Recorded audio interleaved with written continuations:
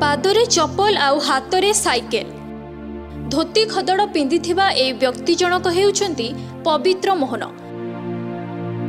ଦର୍ଶକ ବନ୍ଧୁ କଥାରେ କୁହାଯାଏ ନେଇ ନେଇ ନେତା। ଅର୍ଥାତ୍ ଅସତ ଉପାୟରେ ରୋଜଗାର କରୁଥିବା ଲୋକେ ରାଜନୀତିକୁ ଆସିଥାନ୍ତି ବୋଲି ବିଶ୍ୱାସ ରହିଛି। କିନ୍ତୁ ଆଜି ଏମିତି ଜଣେ ପୂର୍ବତନ ବିଧାୟକଙ୍କ ସହିତ ଆପଣଙ୍କ ପରିଚୟ କରିବୁ ଯାହାଙ୍କୁ ଦେଖିଲେ ନେତାଙ୍କ ପ୍ରତି ଥିବା ସବୁ ଧାରଣା ଆପଣଙ୍କର ଭୁଲ ବୋଲି ପ୍ରମାଣିତ ହୋଇଯିବ। ଆମେ କହୁଛୁ ଯାଜପୁର ଜିଲ୍ଲା ବିଞ୍ଝାରପୁରର ପୂର୍ବତନ ବିଧାୟକ ପବିତ୍ର ମୋହନ ଜେନାଙ୍କ କଥା।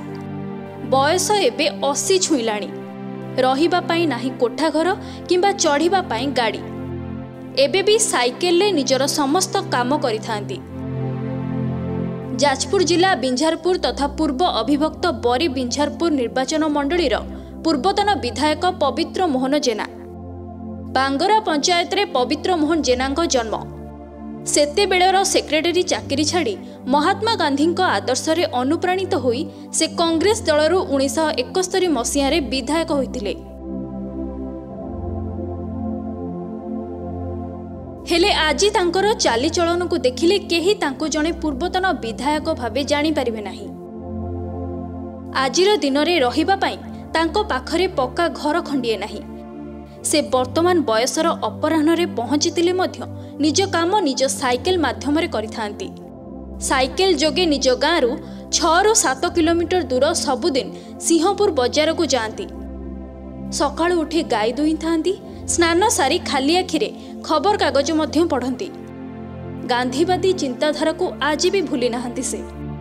ଉଣେଇଶହ ଏକସ୍ତରୀ ମସିହାରେ ଯେତେବେଳେ ବିଧାୟକ ହେଇକି ଆସିଲି ସେତେବେଳେ ଖୁବ୍ କମ୍ ପଇସା ଭିତରେ ମୁଁ ନିର୍ବାଚନ ଲଢ଼ିକି ଆସିଛି ଅଣ୍ଡିବାଡ ବରି ବିଞ୍ଜାରପୁର କନଷ୍ଟିଟ୍ୟୁନ୍ସିରେ ପାଞ୍ଚ ସାତ ହଜାର ଟଙ୍କାରେ ମୁଁ ନିର୍ବାଚନ ପରିଚାଳନା କରିଥିଲି। ସେ ସମୟରେ ବାଇକ୍ ଖଣ୍ଡେ ଦେଖିବା ଏ ଅଞ୍ଚଳରେ ଏ ଅଞ୍ଚଳ କାହିଁ ସାରା ଓଡ଼ିଶାରେ ମଧ୍ୟ। ଆପଣଙ୍କର କେବଳ ମନ୍ତ୍ରୀମାନେ କେବଳ ଗାଡ଼ି ଚଳାଉଥିଲେ ଆଇ ଏସ୍ ଅଫିସରମାନେ ଗାଡ଼ି ଚଳାଉଥିଲେ ସବୁ ବିଧାୟକଙ୍କର ମଧ୍ୟ କୌଣସି ଗାଡ଼ି ଘୋଡ଼ା ନଥିଲା ସେମାନେ ସାଇକେଲରେ ଯିବା ଆସିବା କରୁଥିଲେ। ସେତେବେଳେ ଇଲେକ୍ଟ୍ରିଫିକେସନର ମିନିଷ୍ଟର ଥିଲେ ମତଲୁ ବୋଲି। ମତଲୁ ବୋଲିକି ଲେଖାଲେଖି କରିକି ବହୁ ଉଦ୍ୟମ କରିକି ମଧ୍ୟ ମୁଁ ଯାହାଫଳରେ ମୋ ଘର ପର୍ଯ୍ୟନ୍ତ ଇଲେକ୍ଟ୍ରିଫିକେସନ ଆଣିଛି। ଏଇ ଯେ ରାସ୍ତାଟି ଦେଖୁଛନ୍ତି ଏ ରାସ୍ତାଟି ସେତେବେଳେ ପଞ୍ଚାୟତ ସମିତି ରୋଡ଼ ଭାବରେ ଏଠି ରାସ୍ତା ନଥିଲା। ମୁଁ ବିଧାୟକ ଥିଲାବେଳେ ଗୋଟେ ଡାଳି ସଡ଼କ ହଜାର ଟଙ୍କାର ରାସ୍ତା ବାଙ୍ଗରା ଠାରୁ ଏପର୍ଯ୍ୟନ୍ତ ତିଆରି କରାଇଥିଲେ। ବାପା ଆଜ୍ଞା ଗାନ୍ଧୀଙ୍କ ଆଦର୍ଶରେ ଅନୁପ୍ରାଣିତ। ସବୁବେଳେ ଗାନ୍ଧୀଙ୍କ ନୀତି ନିୟମକୁ ଅବଲମ୍ବନ କରନ୍ତି ନିଜର ସରଳ ଜୀବନଯାପନ କରନ୍ତି ଖଦଡ଼ ଡ୍ରେସ୍ ପରିଧାନ କରନ୍ତି। ସେ କେବେ ପିଲାମାନଙ୍କ କଥା ଚିନ୍ତା କରୁନାହାନ୍ତି। ସେ ସବୁବେଳେ କହିଛନ୍ତି ସମାଜ ଉନ୍ନତି ହେଲେ ମୋ ପିଲା ଅଟୋମେଟିକ୍ ଉନ୍ନତି ହେବେ ଆଜ୍ଞା। ତେଣୁ ସମାଜ ଯେତେବେଳେ ତଳ ସ୍ତର ଥିବ ଗୋଟିଏ ପଢ଼ା ଯେତେବେଳେ ସବୁ ନଡ଼ା ଛପର ଥିବ ମୁଁ ଗୋଟେ କୋଠାଘର କରିଦେଲେ ଯେ ବାହାଦୁରୀ ହେବ ତା ନୁହେଁ। ଯେତେବେଳେ ସମାଜର ସବୁ ଲୋକ ମାନେ କୋଠା ଘରରେ ବସବାସ କରିବେ ମୋର ସେତେବେଳେ କୋଠା ଘର ହେଲେ ଆଜ୍ଞା ମୁଁ ନିଜକୁ ଗର୍ବ ଅନୁଭବ କରିବି। ତେଣୁକରି ବାପା ସବୁବେଳେ ଗାନ୍ଧୀଙ୍କ ଚିନ୍ତାଧାରା ଆଉ ଗାନ୍ଧୀଙ୍କ ନୀତିଶୈଳୀରେ ନିଜକୁ ନିୟୋଜିତ କରି ଚାଲିଛନ୍ତି ଆଜ୍ଞା। ତାଙ୍କରି ଉପରେ ନିର୍ଭର ସେ ଯାହାକୁ ନା ଆଣିବେ ସିଏ ହେବନି ସବୁ ହେଲା ସଉଦାପତ୍ର କତରୁ ସବୁ ବିଭିନ୍ନ ପ୍ରକାର ଯାହା ଦରକାର ଘରେ ତାକୁ ସବୁ ସେଇ କିଣିକି ଆଣନ୍ତି ଆଉ ବି ଭତ୍ତା ପାଆନ୍ତି ସେ ଯାହାର ଯେମିତି ଅସୁବିଧା ଟିକେ ହେଲେ ଦିଆ ପା ହେଲେ ଆସି ତାଙ୍କୁ ଖୋଜିଲେ ସେ ବି ତାଙ୍କୁ ସାହାଯ୍ୟ କରନ୍ତି।